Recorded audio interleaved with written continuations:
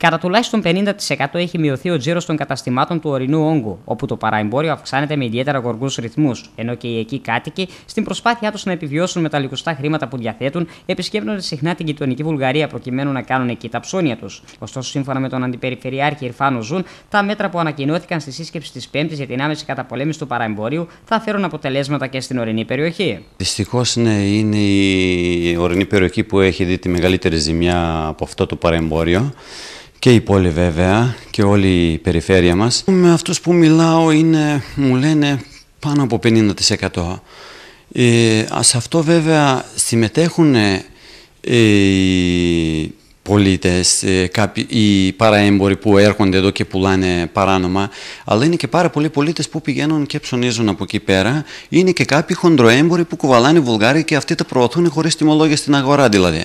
Γι' αυτό είπαμε να μπει τουλάχιστον ένας έλεγχος στις πύλες εισόδου, να δούμε το εμπόριο που παίρνει, που φέρνει, που μπαίνει, από πού το παίρνει και προς τα πού πηγαίνει. Φορολογείται, δεν φορολογείται, γιατί τώρα είναι ανεξέλεκτα και δεν ξέρουμε τι. Δηλαδή, έχω εγώ μαρτυρήσει ο ίδιος με τα τυριά μαζί να έχει τα απορριπαντικά, αν θίγει δηλαδή, δηλαδή απαράδεκτα πράγματα. Κλείνοντας, ο κύριος Οζούν εφιστά την προσοχή των κατοίκων της ορεινής περιοχής, αφού όπως τόνισε, ναι, μεν η οικονομική κρίση μας έχει επηρεάσει όλους με αποτέλεσμα να αναζητάμε το πιο φθηνό, αλλά αυτό δεν σημαίνει πως πράττουμε σωστά, αφού ένα φθηνό προϊόν μπορεί να αποβεί ιδιαίτερα ακριβό κυρίως για την υγεία μας, αλλά και για την τσέπη μας.